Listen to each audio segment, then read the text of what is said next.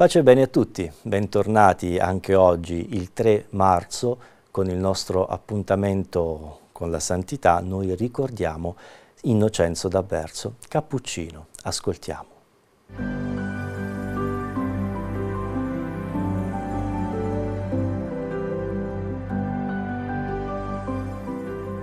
Giovanni Scalvinoni nasce a Niardo, Brescia, il 19 marzo del 1844.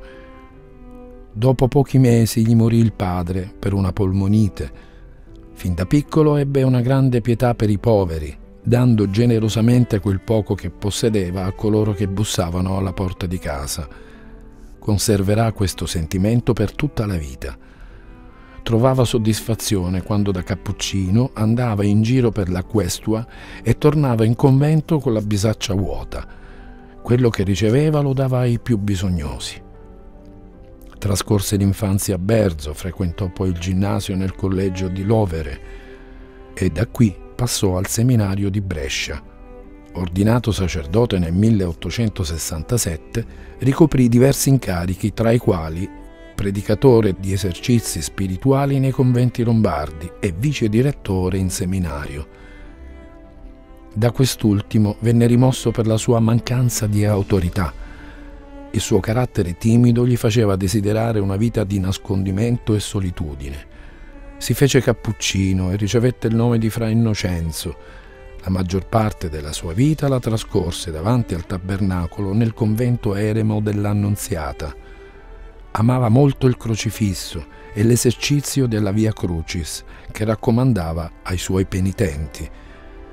Gli ammalati e gli afflitti andavano da lui per ricevere la sua benedizione e la sua fama di santità incominciò a dilagare. Nelle festività era al confessionale dal mattino alla sera. Morì nell'infermeria del convento di Bergamo il 3 marzo 1890, solo 46 anni. Pochi mesi dopo le sue spoglie vennero trasferite a Berzo. Il 12 novembre del 1961 San Giovanni XXIII lo proclamò beato e patrono dei bambini che furono i protagonisti dei due miracoli del processo di beatificazione. Il suo convento e la sua cella sono meta di continui pellegrinaggi. Tanta gente vuole ancora assaporare attraverso i suoi luoghi l'incondizionato abbandono nelle braccia del Padre.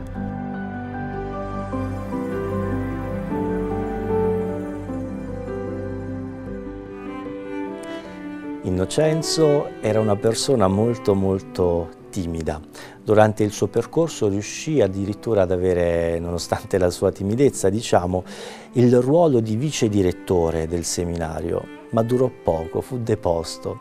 Forse perché appunto la sua timidezza gli impediva eh, di rappresentare quella figura autoritaria che ci si aspettava ed era appunto questa la motivazione, fu eliminato, fu cambiato da quel ruolo perché non aveva il pugno duro, non aveva l'autorità necessaria secondo eh, diciamo, i gusti di chi lo stava valutando in quel momento.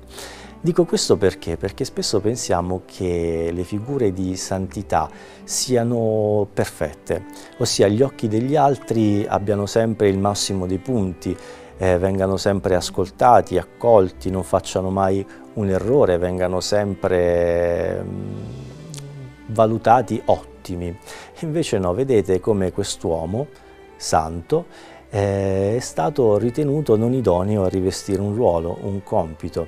Perché dico questo? Perché i santi sono uomini e donne come noi, nel loro vissuto possono essere compresi e non compresi, ma non sono supereroi, non sono quelli perfetti assolutamente in tutto, ma hanno delle grandi virtù e la sua era appunto questa dell'umiltà, di mettersi a disposizione completamente di tutti, di pregare tanto. E la sua timidezza, lui è anche il protettore dei bambini. Allora oggi vogliamo pensare soprattutto ai bambini, ma ai bambini timidi.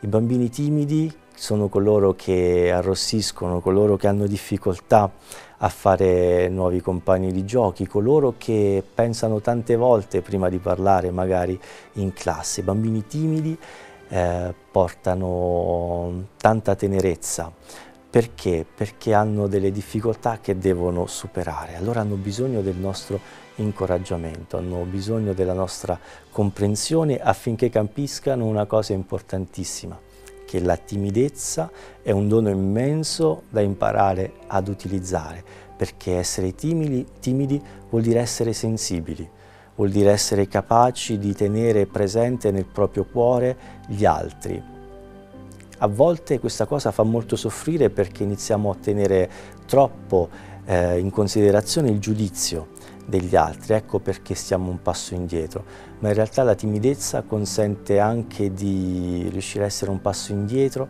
rispetto alla zona che compete agli altri e quindi la bellezza dell'essere timidi è proprio la bellezza anche di avere una ricchezza che si sta custodendo in quel momento.